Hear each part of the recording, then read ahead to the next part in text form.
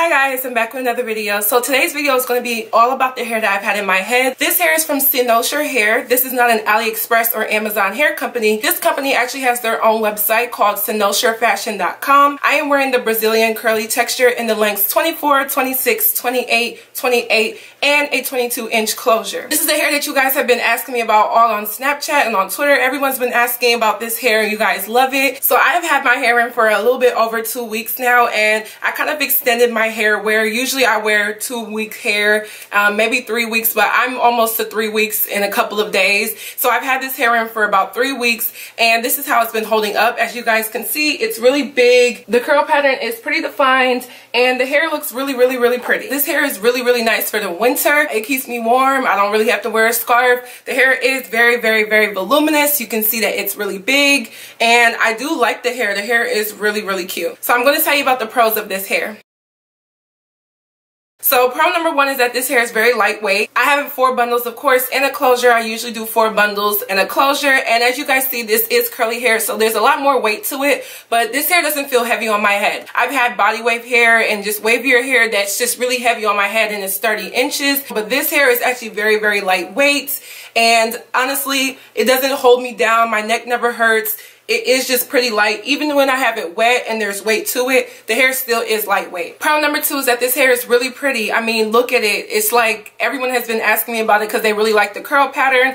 This was a different curl pattern than I've seen in most of my curly hair reviews. When I got this hair, the curls were really, really uniform. They almost look like a synthetic type of curl pattern. I was like, wow, this hair is really curly. And at first I didn't like it because I thought it was going to look a little bit too like childish. But once I washed it and then applied it to my U-part wig, I saw that the curl pattern loosened up and looked a little bit more natural. And I really did like the way how it looked. Problem number three is that this hair did take products very well. I don't use that many products for curly hair or any hair in general, but curly hair does require you to use some products and I'll talk about that later in this video. But this hair did take products pretty well. For the most part, I used some curl defining creams. I used some leave-in conditioners.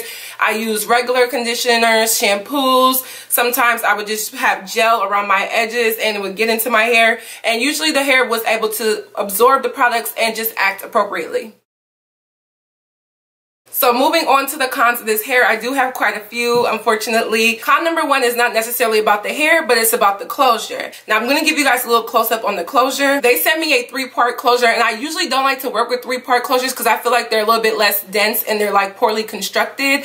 Um, this closure, I really did not like at all because due to it having three parts in total, there were two splotches of the closure that were pretty, um, I would say, not dense. Um, they lacked in density and I feel like it made the closure look a little bit cheap and it had little splotches of the closure. Um, it caused it to have more balding because there were little spaces in the closure and the way how the closure was constructed was that it was like little squares of hair and I just don't like the way how that looks. I feel like it takes away from the hair because it makes your closure look really, really sparse and I really don't like that look. The closure I just wasn't a fan of at all. It just seemed a little bit different than the hair itself. Another thing about the closure is that it seems to be a little bit different from the hair on the bundles. When I would wash my hair and I would come out and I'm like conditioning and adding my product, the closure seemed to be drying a lot faster than the hair. And I know that it's low-key kind of natural, like it kind of just happens that way because the closure is shorter and stuff like that. But at the same time, my closure, for whatever reason, just seemed to always be poofier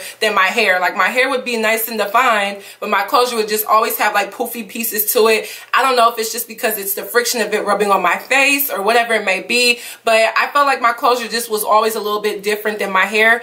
And so I would have to make my hair be a little bit more puffed up like it is now in order for the closure to match it. So just a tip for the company, do work on your closures. Try to add more hair to your closures and try not to have the little blocks and squares of the different hair patches because it just makes the closure look a little bit more cheap. And I think the closure would have been perfect had the company just put like just straight hair all over the lace of the closure and sent me like a middle part because I do work with those a lot better because there's always more hair on the middle part closure versus having the three part closure. Con number two is that the hair gets really, really dry. And I know that's something that people that get curly hair they try to avoid. So it's right here about my chest area and I did cut it this morning. It took about six inches off just because I wanted it to be a little bit shorter. But my ends were always dry. No matter what I did, I would put my defining cream, leave-in conditioner, regular conditioner, curly hair serums, oil, everything. And for whatever reason, my ends were always dry to the point where I just had to cut some of the hair off today. You can see it still is a little bit dry, but I kind of like that look because it makes it a little bit more natural because it is like a lack of luster. So it kind of is true to like African American hair texture.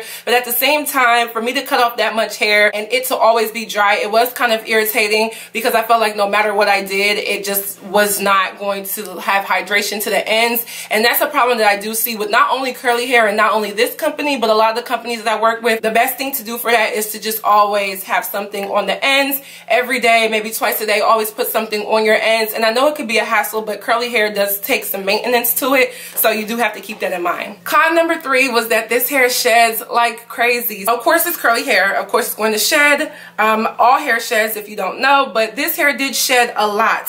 I mean clumps of hair at a time and that's just usually during the detangling process so you are going to get a lot of hair during the detangling process because it is a curly and more coarse texture. But at the same time I felt like the hair was shedding a little bit more than usual. Now that could be because of the way how I constructed my U-part wig meaning I do sew through my wefts which does add some shedding to the hair. But for whatever reason I've had other curly hairs in comparison. I feel like this one did shed a little bit more now at the same time this was some long hair and long hair always sheds more than shorter hair. It always was kind of getting caught because it was just so long, especially when it was wet. But the hair was beautiful when it was wet, of course. But it did shed a lot. So keep that in mind if you do want to purchase this hair because it will shed a lot. And, you know, it does get dry. But with the right maintenance and the right upkeep, you won't have a problem. So the upkeep of this hair consisted of me putting a lot of products into my hair. I honestly wanted to use my Suave Curly Hair Serum on this hair. I know it works so well with curly hair. If you want to get curly hair, you had curly hair in and you want something to kind of condition your curls and define them, definitely use this product. But I ran out of my product so I did not put it in this hair at all. That is a good product to use. Not only does it define the hair, but it does keep the hair hydrated. So I feel like had I used that product, it probably would have kept my hair a little bit more hydrated than what it actually was. Now with my hair and curly hair in general, you have to keep up with your conditioning. Conditioning is what rectifies and saves the hair. You want to condition your hair every other day when you get into the shower and you just want to add conditioner only. You don't have to really worry about shampoo because shampoo will dry and strip your hair and you don't want to have the dry hair. So just stay away from shampoo when you're dealing with curly hair. Maybe do it like once a week or once every other week. But condition your hair, let it sit for a while and you will see a big difference. Last night I did condition my hair as you guys saw on Snapchat. I basically went into the shower and then I let it sit in my hair for maybe about an hour and a half or two hours. I was watching Bad Girls Club. So it really does keep the hair hydrated. Um, once my hair dried, I felt the complete change in the hair.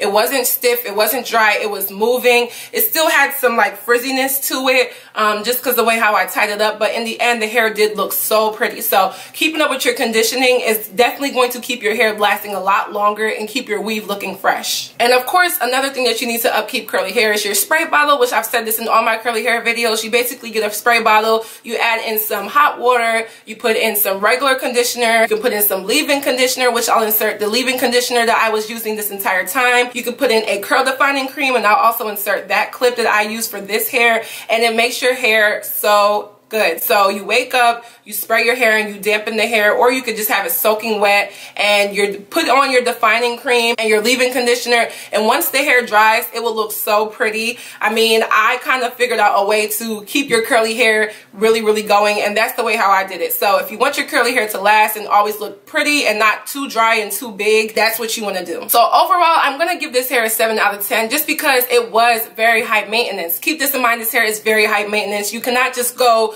three, four days without touching your hair and expect it to look cute. I had to get up before this video and dampen this hair again. And I did it again this morning. And right now it is 6 o'clock. And this morning around like 9 a.m. I had to also dampen the hair. So it is high maintenance hair, although it is really pretty. And it gets really big and it looks really cute. And a lot of you guys like it. Just know that you're going to have to work with this hair. So don't downplay the hair or do not just neglect it because you're going to wonder like why it's looking the way it does. Or you're going to feel like you wasted your money because the hair might not be acting right, but the hair does require a lot of TLC. So that is it for this hair review. Hope you guys enjoyed this video. Don't forget to add me on Snapchat. You guys know I'm always on Snapchat. That's where you guys know about my hair and I give you guys more inside looks on the hair. And I'll see you guys in my next video. Bye guys.